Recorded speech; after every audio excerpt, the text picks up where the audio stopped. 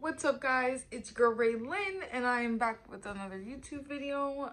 Today's video, I will be going to a baseball game. I have been to one baseball game in the past, but it was just because I was performing like in the beginning. So I'm going to be going to a baseball game. Don't mind how I look. Look kind of rough, but I'm going to show you guys cooking dinner before I leave we'll see. Um it's nacho night so i'm gonna be making nachos today.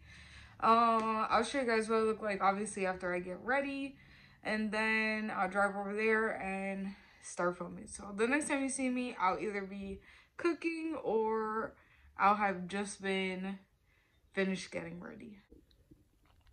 I made nachos. I already started eating half of them but they are so good. It's just meat, cheese, Doritos, tortilla chips, and lettuce. So good. I make nachos all the time. When we first got to Coca-Cola Park, we just scanned our tickets and then we seen all these food places and there was vendors, stands, just a whole lot of people and there was also dogs. I didn't know you were allowed to bring dogs to the baseball games but i don't know if it was dog night but there was dogs.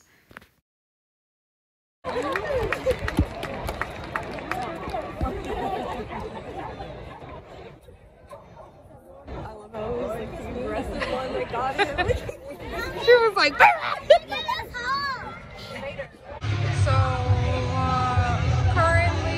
The score is Bison's 10, Iron Pigs 2.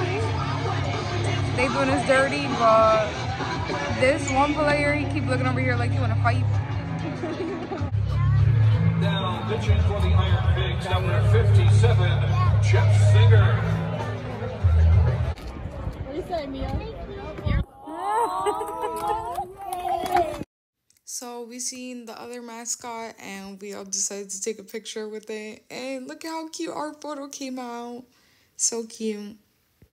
Got some funnel cake and a coke.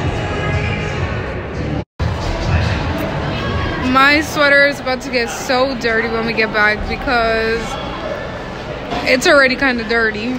But got my funnel cake. Iron Pigs are losing right now. It is what it is.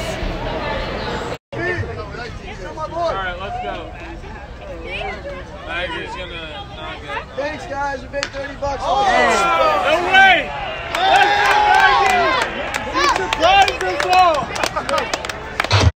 That was the end of the game. Final score was 10 to 5 with Iron Pigs as a loss.